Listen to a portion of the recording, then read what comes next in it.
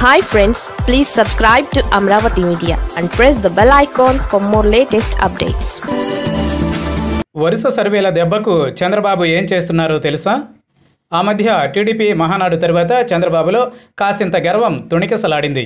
ఆహా ఓహో అంటూ వంది మాగధులు చేసిన హడావిడికి ఆయన పొంగిపోయారు. మనకు ఎవరి పొత్తు అక్కర్లేదన్నట్లుగా మాట్లాడారు. కట్ చేస్తే ఇప్పుడు చంద్రబాబులో మళ్ళీ భయం మొదలైంది. వరుసగా విడుదలవుతున్న సర్వేలన్నీ ఏపీలో వైసీపీదే అధికారమని ఘంటాపదంగా చెబుతుండటంతో చంద్రబాబు మళ్ళీ పొత్తుల కోసం వెంపర్లాడుతున్నారు. అందులో భాగంగానే రాష్ట్రపతి ఉపరాష్ట్రపతి ఎన్నికలలో బీజేపీకి మద్దతు ఇచ్చారు. ఇటు జనసేన కూడా తనతో కలిసి నడిచేలా వ్యూహరచన చేస్తున్నారు. పవన్ కళ్యాణ్పై తనకు వన్ సైడ్ లవ్ ఉందని ఆ మధ్య కుప్పంలో చెప్పిన చంద్రబాబు ఆ తర్వాత కొన్నాళ్ళ పాటు సైలెంట్ అయ్యారు. మళ్ళీ ఇప్పుడు పవన్ని దగ్గర చేసుకోవడానికి మెల్లగా దూవుతున్నారు.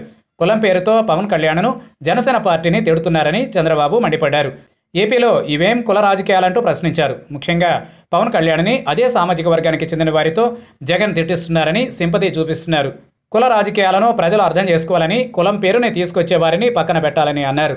ఆ మధ్య ఓ మీటింగ్లో పవన్ కళ్యాణ్ కనీసం కులం విషయంలో అయినా అందరూ కలవాలని తనకి మద్దతు ఇవ్వాలని అన్నారు.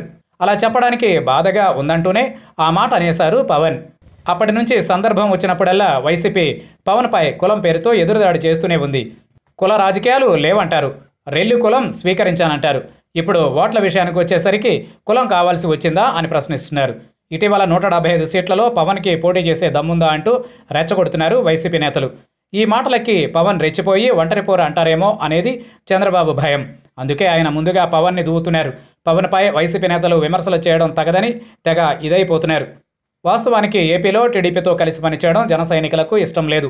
కానీ పవన్ కళ్యాణ్ మాత్రం చంద్రబాబుకి మద్దతుగా మాట్లాడడం మానడం లేదు.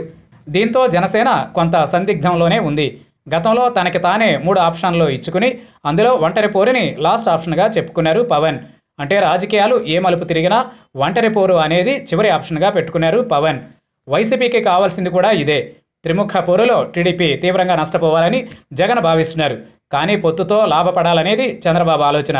జగన్పై ఉన్న అసంతృప్తి ఓట్ల చీలిక ద్వారా నష్టపోకూడదని టీడీపీపై జనాలకి నమ్మకం లేకపోయినా జనసేన బీజేపీ పంచన చేరి వైసీపీ వ్యతిరేక ఓటుని ఒకే దగ్గరకు చేర్చాలనే ప్లానింగ్లో ఉన్నారు చంద్రబాబు. అందుకే అడగకుండానే పవన్కి మద్దతుగా మాట్లాడుతున్నారు. ఈ మాయమాటలకు పవన్ పడిపోతారో లేదో చూడాలి.